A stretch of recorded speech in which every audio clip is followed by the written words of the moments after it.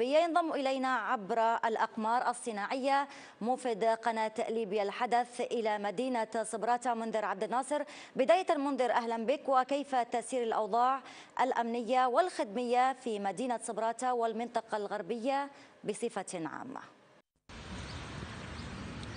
نعم الأوضاع الأمنية بالنسبة لمدينة صبراتة والمناطق المجاورة لها تسير بشكل ممتاز والأجهزة الأمنية تشتغل على قدم وساق.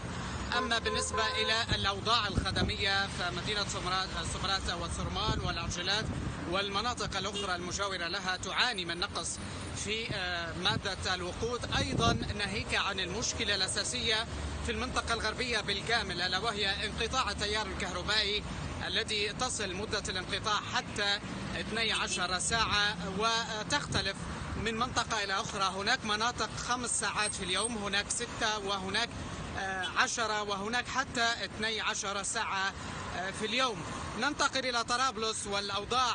هناك في المحاور وتقدمات قواتنا المسلحة منطقة وادي الربيع بالكامل تحت سيطرة قواتنا المسلحة. أيضا منطقة ستارنا تحت السيطرة بالكامل ومنطقة تنشيع والحدود الإدارية لمدينة تاجورة هناك ما زالت الاشتباكات دائرة حتى هذه اللحظة.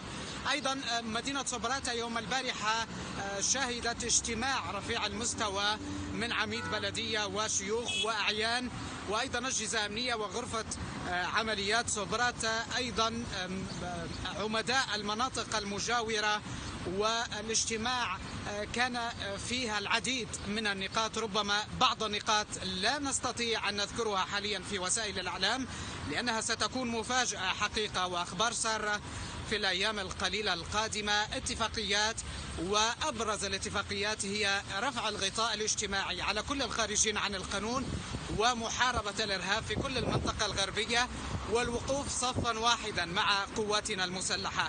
مدينة طرابلس أيضا ستشهد الساعات القادمة ربما أو الأيام القليلة القادمة ساعة النصر القريبة والحسم الأخيرة والعديد من المفاجآت ستكون على الساحة. في القريب العاجل.